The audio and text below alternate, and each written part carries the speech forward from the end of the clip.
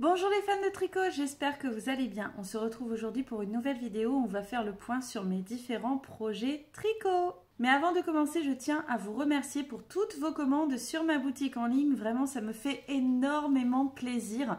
J'adore déjà créer et fabriquer tous les accessoires que je vous propose sur ma boutique. Mais j'adore aussi prendre le temps de vous préparer vos commandes, de les emballer pour vous les envoyer. Et je vous remercie pour tous vos retours positifs. Quand vous recevez vos commandes, vraiment, bah, ça me va droit au cœur. Ça me fait énormément plaisir. Merci beaucoup.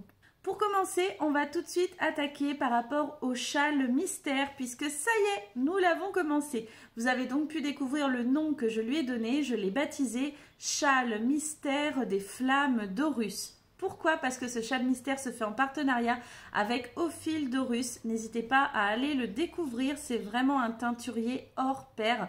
J'adore ce qu'il fait, j'adore ses laines teintes à la main, les couleurs sont magnifiques, vraiment fabuleuses c'est juste de la top qualité.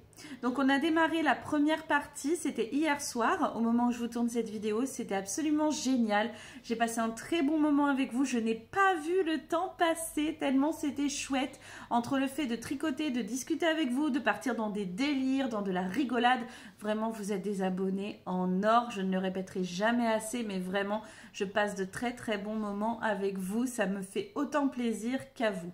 Donc on attaquera très bientôt la deuxième partie, je pense vendredi ou dimanche. Je n'ai pas encore décidé quel jour ce sera.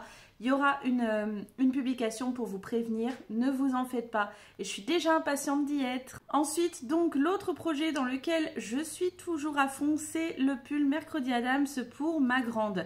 En effet, je suis toujours dans ce pull tout simplement parce que je suis dans la partie du bas du corps, que c'est une partie où il y a quand même beaucoup de mailles parce que c'est une taille XS ou 14 ans et euh, que je tricote en aiguille numéro 4 donc ça prend beaucoup de temps. Je suis à fond dedans, j'espère l'avoir terminé rapidement mais je ne peux pas vous le garantir à l'heure actuelle. Je continue de le tricoter et dès que ce sera terminé je vous sortirai le tutoriel, ne vous en faites pas. Voilà En tous les cas moi je suis très contente de voir vraiment tous vos retours que ce soit par rapport à mes tutos, que ce soit les échanges que l'on a lors des directs, les discussions, tout ça, vraiment j'en suis extrêmement ravie. J'ai hâte après le pull mercredi Adams aussi d'attaquer d'autres projets et je vous en parlerai comme toujours. Je vous fais des gros bisous et je vous dis à très vite.